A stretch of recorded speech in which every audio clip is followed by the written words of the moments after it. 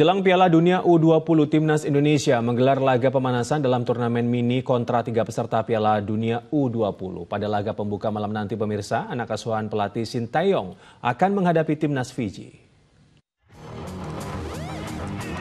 Garuda Nusantara menggelar latihan menjelang turnamen mini U20 di Stadion Utama Gelora Bung Karno, Jakarta pada Jumat malam.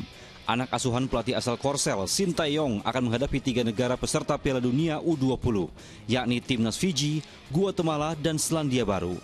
Laga persahabatan merupakan bagian dari pemusatan latihan untuk menempa fisik pemain dan juga memantapkan taktik serta strategi permainan.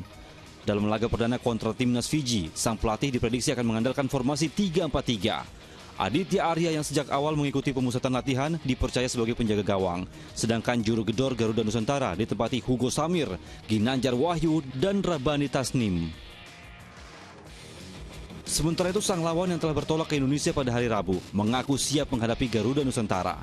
Tim berjuluk di Gizel Junior Bula Boys bahkan telah melakukan pemusatan latihan selama tiga minggu di bawah asuhan pelatih Rudolfo Zapata. Tim Liputan melaporkan.